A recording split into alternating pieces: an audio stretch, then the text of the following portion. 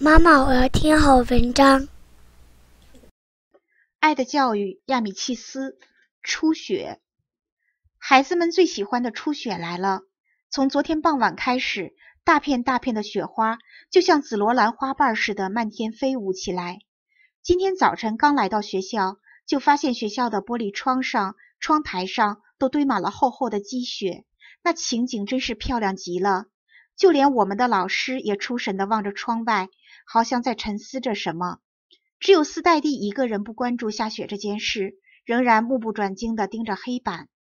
放学时，大家的那股高兴劲儿、快乐劲儿就甭提了，每个人都以最快的速度冲上大街，胡乱地抓起一把雪，在掌心里慢慢地揉成一个漂亮的雪球，兴奋地对打起来。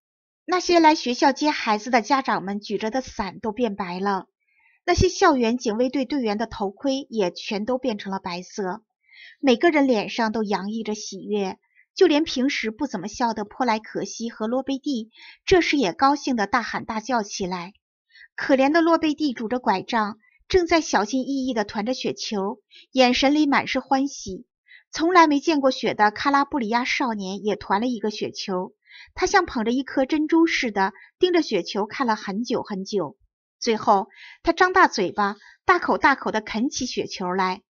克洛西蹲在一个小角落里，不断地用自己冻得通红的小手往自己书包里装雪。碰见小石匠的时候，简直把我乐坏了。我的父亲对小石匠说：“希望他明天到我家里来玩。”只见小石匠的嘴里塞满了雪，想说话也说不出，想把雪吐掉也吐不出来，只是一个劲儿地向我们点头，表示非常乐意到我家来玩。女教师也结伴从教学楼里跑了出来。我二年级时的女老师仍然用那块绿色的纱巾罩住脸，一边小心地走着，一边不断地咳嗽。这时，邻校的女学生也冲上了这白色地毯一样的雪地上，一路尖叫着、嬉闹着跑了过来。男老师们、学校的勤杂工们看到这幅情形，大叫着说：“同学们，当心呐！”你们似乎很喜欢冬天，可是不知道你想过没有，在这个世界上仍然有很多孩子饿着肚子，穿着单薄的衣服，他们怎样度过这个冬天呢？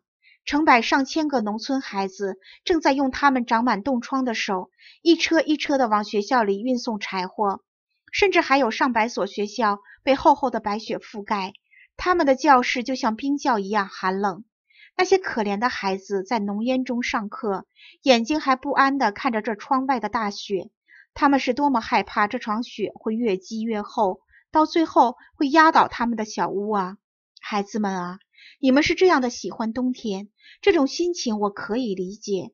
但请你们不要忘了，在冬天会有多少人正在面对寒冷的威胁。你的父亲。